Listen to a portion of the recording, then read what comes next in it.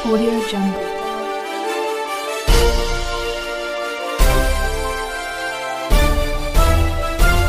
Audio Jungle.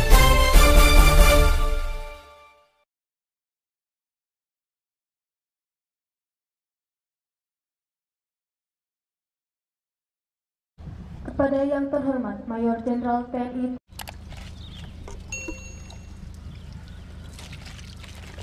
Pangdiviv 2 Kostrat berikan bantuan kendaraan operasional pengawalan kepada Denpom Diviv 2 Kostrat.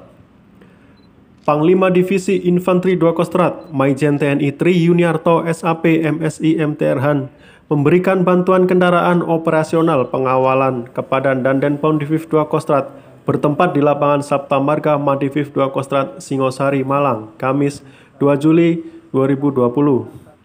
Dalam kesempatan ini, Pangdiviv 2 Kostrat menyerahkan secara langsung kendaraan berjenis Suzuki Grand Vitara yang diterima oleh Dandenpom Diviv 2 Kostrat Mayor CPM Sundoro SH.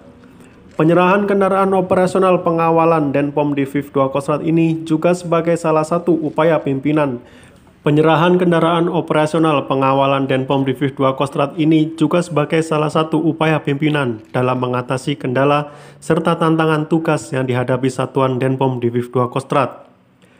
Dalam acara tersebut, Pang Diviv 2 Kostrat menyampaikan, dengan adanya bantuan kendaraan yang digunakan sebagai kendaraan operasional pengawalan ini, Diharapkan Denpom Diviv 2 Kostrat dapat lebih meningkatkan kinerja dalam mendukung mobilitas dan kegiatan satuan jajaran Diviv 2 Kostrat, tuturnya.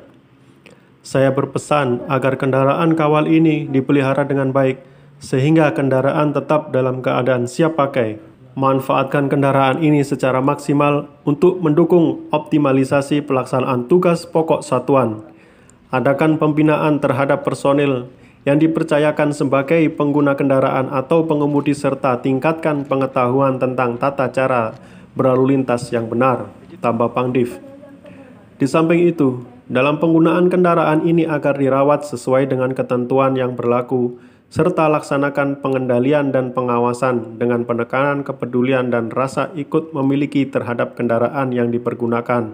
Pungkas Pangdiviv 2 Kostrat